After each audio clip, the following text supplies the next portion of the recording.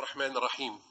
أيها المسلمون والمسلمات استهدفنا في ديننا وأودينا في عقيدتنا وهي شركة أمازون تستفز المسلمين في ربوع العالم فتعرض للبيع سجادا وأفرشة لبيت الخلاء ومقاعد للمرحاض.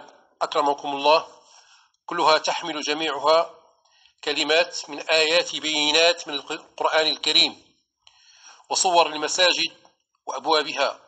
ورسوم لحجاب المرأة المسلمة العفيفة.